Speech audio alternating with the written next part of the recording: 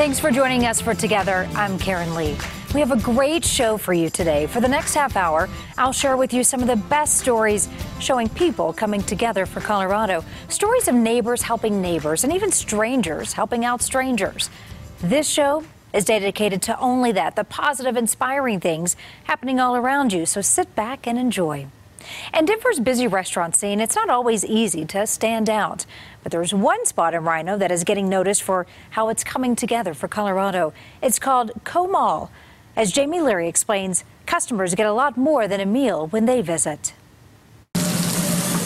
Sylvia Hernandez is a cook at Comal. It makes me happy to cook. For her, the job is about more than just food. Enchiladas. That's because Comal is also a classroom. Opportunities are there for everybody. How it's giving women the confidence to start their own business. That's next on Together. Well, many kids are busy with summer camps this time of year, and tucked away in the high country, there's a camp that's doing more than getting girls outside. It's called Elevate Her. And as Matt Kroschel shows us, it's giving young women lifelong skills. Caroline Woodell can't climb this rock wall on her own. Requires teamwork. She is relying on her 20 new friends to help her. It's challenging. Caroline is able to make it to the top thanks to Elevate Her. Really wanted to bring a program that brought girls together. The nonprofit that's giving girls a summer of adventure for next to nothing.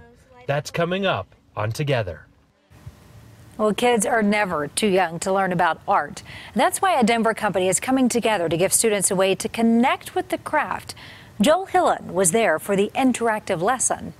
I would use metal and, and clay. Esther Stuckey already knows a lot about art. I like to create realism and abstract. She's made a lot of her own. I like art because I feel like it's a way of expressing yourself. They're old books. But like most kids, Esther has never bought a piece of professional artwork. I'd sell it to you for your five hundred dollars. Until now. Today was really fun because I got to see a ton of like amazing artwork. Thank you. How this art buying experience is teaching kids important life lessons. That's later on Together. And looking forward to that. Well, there's a restaurant in Denver that is only open a few hours a day. But if you can find time to make it there, you'll get more than a meal. That's because this restaurant is also giving back to the community. Jamie Leary and photojournalist Bob Burke take us to Comal. I am a happy person. I am a very happy and positive person most of the time. Sylvia Hernandez tries to find something positive in everything she does. She's found it's a key ingredient to success, along with staying focused. I think when you lose your focus on what do you want, is when you stop doing it and you don't feel that passion. She moved here with her family two years ago and needed a fresh start. Through the nonprofit Focus Points, she met women in similar situations. We start talking about cooking. Like we want to cook and what's your specialty. Focus Points hired Slavica Park to figure out a way to help women in the Globeville area. It was created in a direct response to what the community wanted. The restaurant Comal was born, and so far it's helped to hire and educate 27 women from all walks of life. It truly feeds my soul. It, it really does. For $15 an hour, they learn a wide array of skills. The goal is to set them up to be able to manage a restaurant and, like Sylvia, start her own business. She is close to that goal, but I have a feeling it might be hard for her to leave Comal. I love it here. To me, it's like I don't know how can I say, but now it's like my family is part of my life. It really is magical coming in and just seeing these women from all different uh, parts of the world coming together and cooking, but then also seeing the overwhelming support from the Denver community.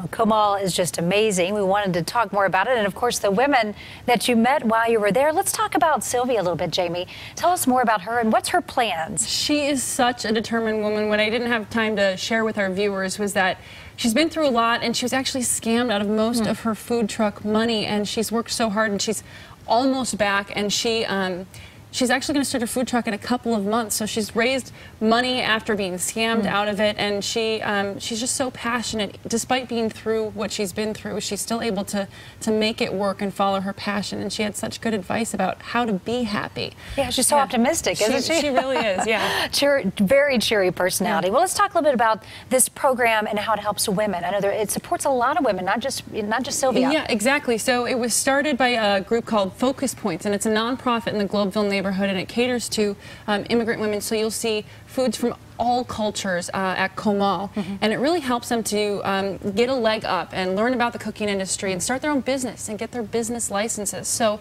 um, it provides opportunities to not only feed the community but teach women who wouldn't have this opportunity otherwise. And um, it's just had an amazing impact so far. Yeah, it looked like a family, I think, as she was talking about it, didn't she? Yes, it is a huge Tight family. Yeah. She doesn't want to leave there, um, even when she does start her food truck. Um, 27 women, and it's growing, have been through the program.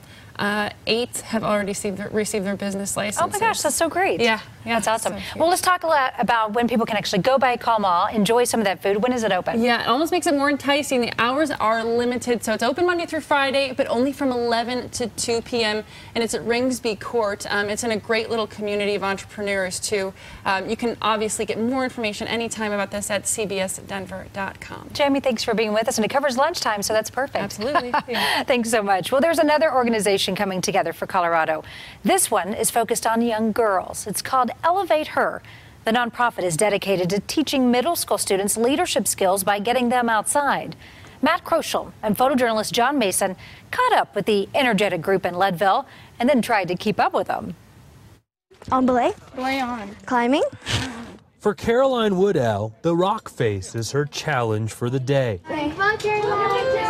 Requires teamwork. The Elevate Her program brought Caroline and 20 other young girls from Salida and Buena Vista here to build confidence. You push yourself out of your comfort zone and um, it's challenging. You just can see so much growth. Um, just their personality, they have more confidence, they're willing to push themselves. Kristen Van Norman dreamed up this not for profit as a way to build community. The program costs the girls only $50 for an entire summer of fun. Middle school and high school girls go through this like crazy, strange, hormonal like period where there's not like a lot of camaraderie between girls. And so I really wanted to bring a program that brought girls together meaningful relationships built while out in the wild, learning from the adults who share knowledge and so much more. They don't just help us with the program, like during activities. Like if you're having a bad day, they'll talk to you. They're always there for you. It seems the only thing holding this program back is finding the funding to allow more girls to get involved. And that's something Kristen is confident will work itself out. I have a waiting list that is significantly longer. A bunch of girls from Leadville wanted to get into the program, and we just don't have the capacity, um, which means we don't have the funding to do so. That's Matt Kroschel reporting for us. And we know many of you will want to help out Elevate Her. If that's you, we put more information on our website for you, cbsdenver.com, on how you can pitch in and get more girls in the great Colorado outdoors. The 4th of July can be a fun time, we all know that, but for dogs, it can also be a little scary. One pup ran away from home on the holiday, and when our viewers heard about it, boy, did all of you step up. How you helped bring this dog back home.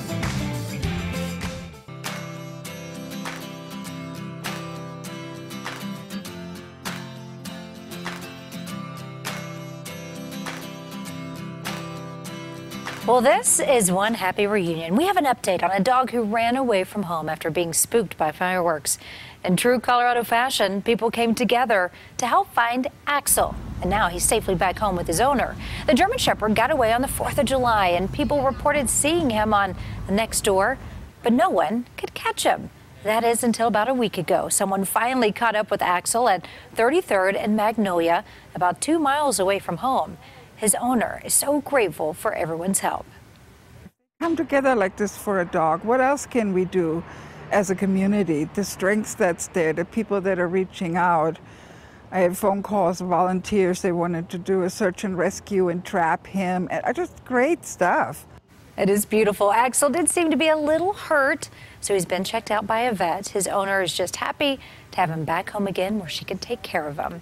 Well, we know how much Coloradans love their dogs. We have dogs, enjoy them. Uh-huh. Meteorologist Dave Aguilar is with us this, this day. And Dave, you've got a lot of great pet pictures that have Great been coming pet in. pictures. You know, officially we're in the dog days of summer, which True. starts uh, July 3rd and it lasts for 40 days. That's when you could see Sirius the dog star in the sky. But take a look. Uh, we've got, I think, a Labradoodle and maybe a boxer there from Clinton off.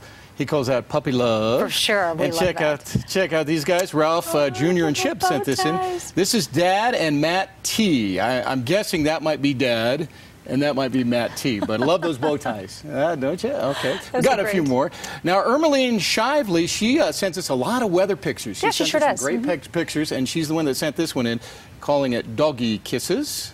And the last one here from Laura Phillips at Jackson Lake State Park. Now, if you look real closely here, this guy, this guy has four legs, and he needs a little help to get in. He's Mm-hmm. Yeah, a little yeah. shy getting in the water. This is a tripod. Ah, this dog here has three legs, and he's just walking right in. No and we love to see those life jackets on them too, Getting right? in the water. Oh yeah, that looks so refreshing, doesn't Oh, it? it sure does. We Oh, yeah. Mm-hmm. always appreciate all the pictures coming in. We love our dogs. We want to see you out and about enjoying our great state. So email your pictures to us at togetherforcolorado at cbs.com. You can also post them on social media using the hashtag for Colorado. And we will be sure to share them on this show. We love to see them, so keep them coming. Well, doctors come together for Coloradans every day. We know they do more than just save lives. They're important, big parts of our community. Well, we know one doctor who's made a lasting impression on his patients, how he's being honored after spending nearly half a century on the job. This week on our Together for Colorado calendar, on Wednesday, it's the Suds for Suds fundraiser at Epic Brewing. Money raised will benefit Attend Denver, an organization dedicated to promoting success in school.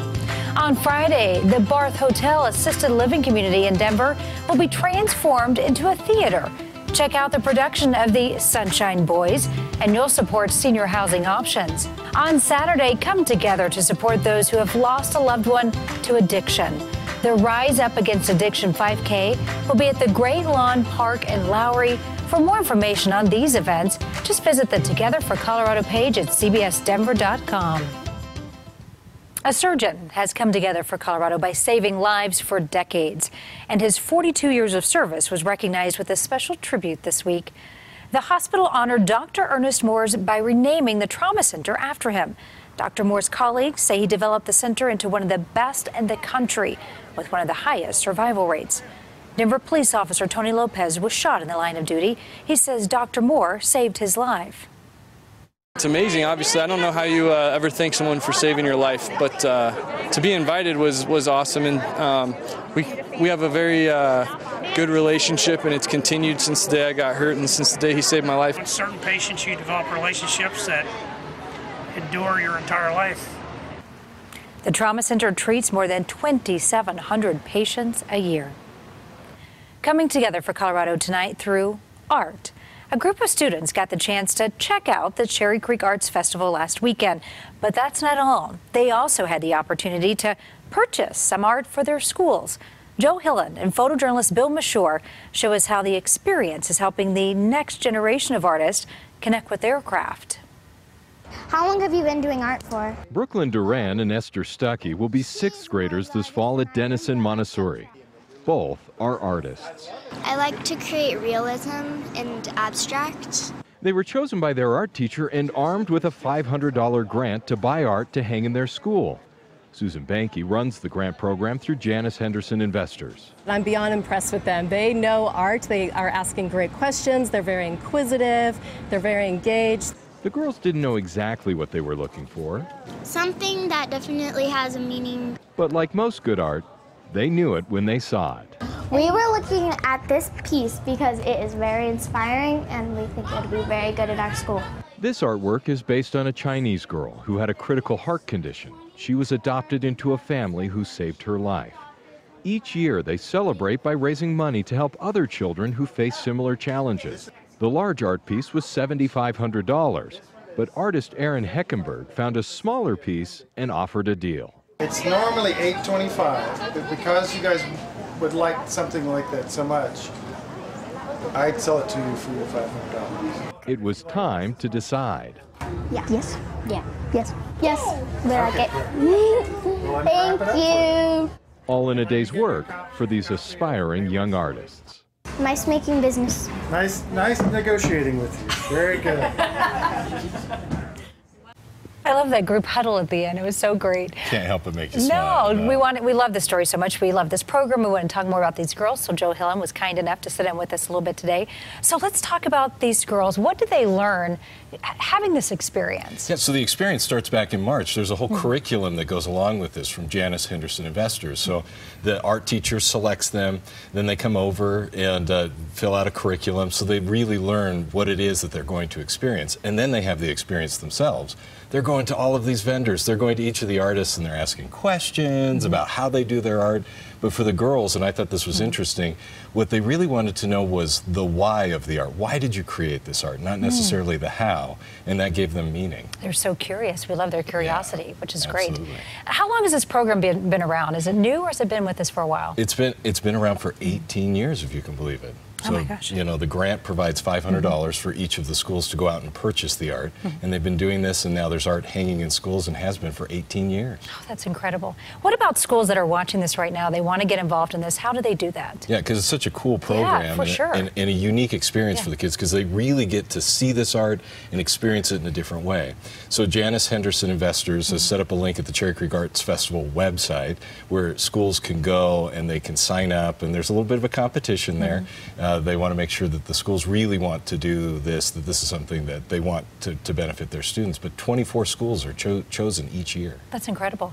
And there's probably some inspiring artists in there, right? This really connects them, right? And, and they're invested in something like this. Exactly. The artists love it just as much as the young ones. And I asked those two girls, I said, So are you going to be professional art, Right. you know, artists when you grow up? And they said, Oh, I don't know. But uh, they hope to continue in their art. And I said, Maybe one day your art will be on display here at the Cherry Mm. Creek Arts Festival.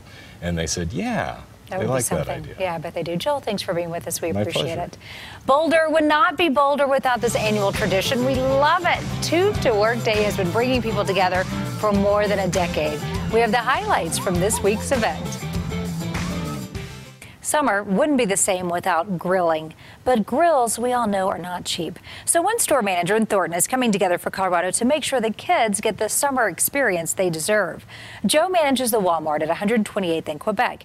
He donated a grill for the Thornton Police Department's summer youth programs. The department says it'll allow them to serve even more kids. Great job, Joe. Way to go. Well, last week on Together, we shared the story of a young woman in Greeley whose trip to the Vietnam Veterans Memorial in D.C. changed her life. It opened her eyes to service and brought her closer to her grandfather, who is a Vietnam veteran. It was a moving story, and you connected with us about it. Richard Campos emailed us to thank us for sharing their beautiful relationship. He says, The story has brought tears to me as I am a Vietnam veteran, and reminded Richard of his 11 year old grandson, who called him a hero. Well, I love getting feedback from you, so please don't hesitate to let me know a story that you've seen today has touched you. Just drop me an email at togetherforcolorado at cbs.com. I look forward to hearing from you, and you can also email me directly. Well, thanks so much for joining us on this week's episode of Together. We'll see you back here next week with new stories that showcase the best of people coming together for each other and for Colorado. Until then, we just love this next event that we're going to leave you with. It's one of our favorite things about Colorado. Photojournalist Eddie Castro shows us the best from Tube to Workday. Enjoy those funny outfits and the cool, crisp water.